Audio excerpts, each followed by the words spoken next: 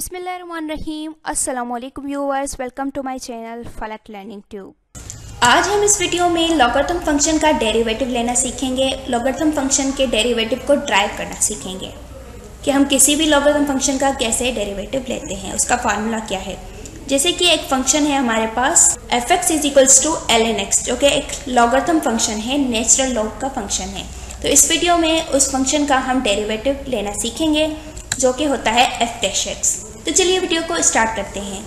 हमारे पास logarithm function है F X is equals to L N X यहाँ पर ये जो एल एन एक्स है, वो नेचुरल लॉग है एक्स के ऊपर।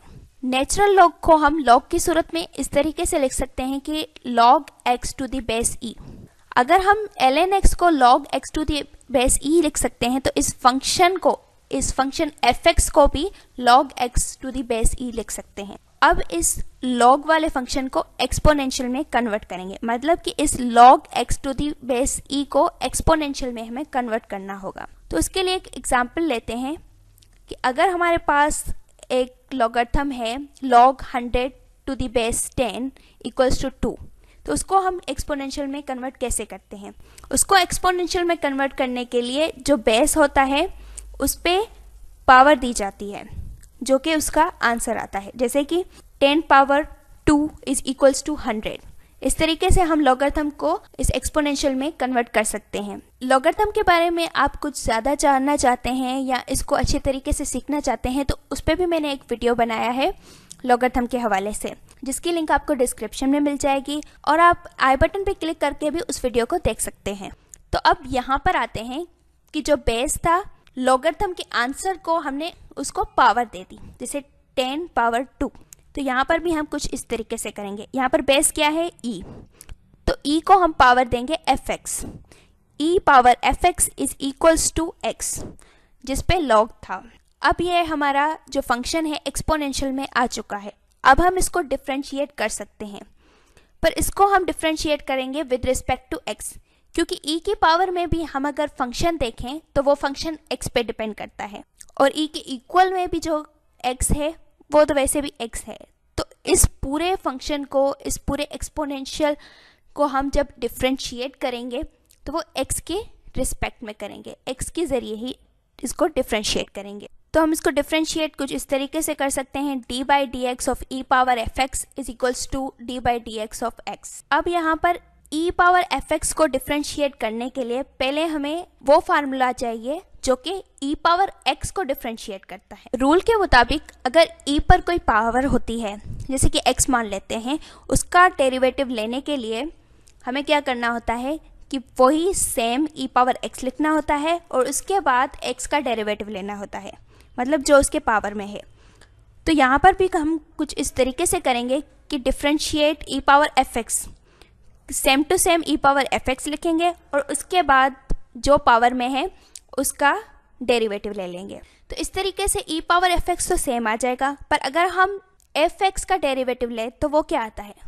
एब्सोल्युटली वो आता है एफ़ डैश एक्स तो यहाँ पर हमारा जो डेरिवेटिव है ई पावर एफ़ एक्स वो इक्वल है e power f x into f dash x e power f x का डेरिवेटिव हमें मालूम हो चुका है। अब इक्वेशन की तरफ़ आते हैं कि derivative of e power f x is equals to derivative of x पर यहाँ पर अगर हम देखें कि डेरिवेटिव ऑफ़ एक्स क्या है तो रूल के मुताबिक एक्स का डेरिवेटिव वन होगा, क्योंकि हम यहाँ पर विद रिस्पेक्ट टू एक्स इसको डिफ्रेंशिएट कर रहे हैं।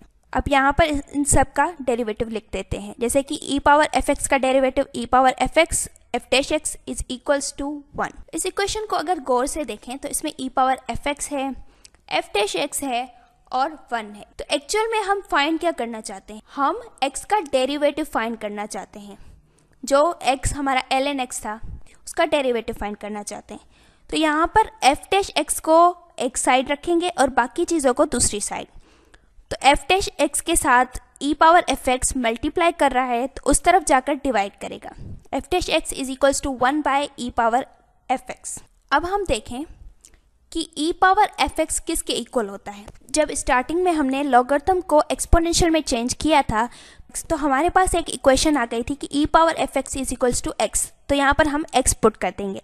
ये हो जाएगा f dash x is equals to one by x पर यहाँ पर अगर हम देखें कि एक्स क्या है एक्स है एल एन एक्स क्योंकि हम डेरिवेटिव फाइंड करना चाहते हैं एल एन एक्स का। तो यहाँ पर आ जाएगा derivative of l n x is equals to one by x हमारे पास एल एन एक्स का डेरिवेटिव आ चुका है, जो कि वन बाय एक्स होता है। पर अगर हम यहाँ पर गौर करें कि एक्स तो एक वेरिएबल है, और इस वेरिएबल की जगह पर तो कोई कांस्टेंट नंबर भी आ सकता है, कोई फ़ंक्शन भी आ सकता है, और कुछ भी आ सकता है। तो उसके बाद हम उसका एल एन एक्स कैसे फाइंड करेंगे? उसका डेरिवेटिव हम कैसे फाइंड करेंगे? तो एक्चुअल में ये एल एन एक्स का जो डेरिवेटिव होता है, वो सिर्फ़ वन बाय एक्स नहीं होता। वो कुछ इस तरीके से होता है कि one by x into derivative of x x का भी डेरिवेटिव लेना ज़रूरी होता है। पर यहाँ पर हमारा आंसर सिर्फ़ वन बाय एक्स इसीलिए आया क्योंकि एक्स का डेरिवेटिव वन होता है। और वन किसी भी नंबर से मल्टीप्लाई करे, वो नंबर सेम ही रहता है। तो इसीलिए हम यहाँ पर derivative of l n x को वन बाय एक्स ही मानते हैं। पर एक्स की जगह कोई और नंबर होता है तो उसका हमें डेरिवेटिव लेना पड़ता है। अगर आपको मेरी वीडियो पसंद आई तो इसे लाइक और शेयर ज़रूर कीजिए और सब्सक्राइब कीजिए मेरे चैनल फलक लर्निंग ट्यूब को। और अगर आप चाहें तो इंस्टाग्राम पे और फेसबुक पेज पे भी फॉलो कर सकते हैं, जिनकी लिंक आपको डिस्क्रिप्शन में मिल जाएगी। इस वीडियो को पूरा देखने के लिए थैंक यू वेरी मच